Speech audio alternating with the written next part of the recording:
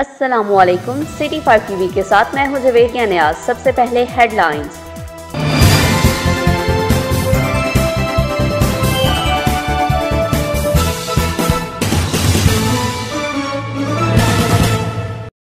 Corona virus से बचाव के हवाले से वजीराबाद में वैक्सीनेटर की टीम मैदान अमल में निकल आई, जो कि ये कोरोना वायरस जैसी मौलिक बीमारी से असरअंदाज होने के खतरे के बावजूद अपनी सरगर्मियाँ सर अंजाम देने के लिए पुरअज़म हैं। इस्ताद कोरोना के लिए लॉकडाउन के साथ साथ लोगों में अवेयरनेस देते हुए वैक्सीनेटर की ये टीम गली मोहल्लों में जाकर मोटरसाइकिलों पर नज़र एक रिकॉर्ड मैसेज जो कि हर ज़ुबान में चलाते हैं, अपनी खिदमत अंजाम देगी, ताकि तमाम लोगों में ये शौर पैदा हो सके।